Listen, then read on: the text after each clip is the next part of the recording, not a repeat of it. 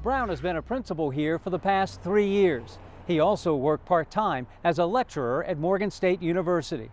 The alleged victim is a Morgan student who told police that Brown was one of her instructors. Mark Stewart Brown, the principal of the Phoenix Academy in Annapolis, remains in jail without bail for armed robbery. Community reaction is strong. You would think he would be setting a better example for the kids. It's a shame. He's good enough for the for the schools, but he's awful. He should know better. He should know better. That's not good. It happened Monday in a quiet city neighborhood. According to police charging documents, Brown and the alleged victim were on their first date. After they returned to the woman's home, Brown noticed she had a scar on her body and declared he had to leave. But he couldn't find his cell phone. He accused his date of taking it. Court papers indicate Mr. Brown retrieved a handgun from his waistband, held it at his side. He grabbed her phone from a dining room table.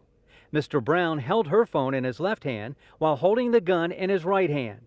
Mr. Brown told her that he wasn't playing and that she needed to give him his phone back. The alleged victim told police she feared that Brown would use the gun on her. Brown followed her out of the house. A neighbor saw the gun in his hand. That's crazy. Why? Why would he do that? Look like everybody carrying guns.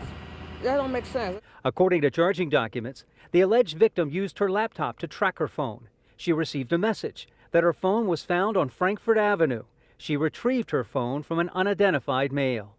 Meanwhile, the Anne Arundel County School System notified parents that Brown will be away from the school indefinitely. And we moved swiftly to ensure that instruction would not be impacted for students there and put new leadership in place. He uh, was in his third year as uh, the principal at the Phoenix Academy. I, I would say that, that he's made significant contributions to the school and to the community. School officials say a decision regarding Brown's status here will be made after he gets out of jail.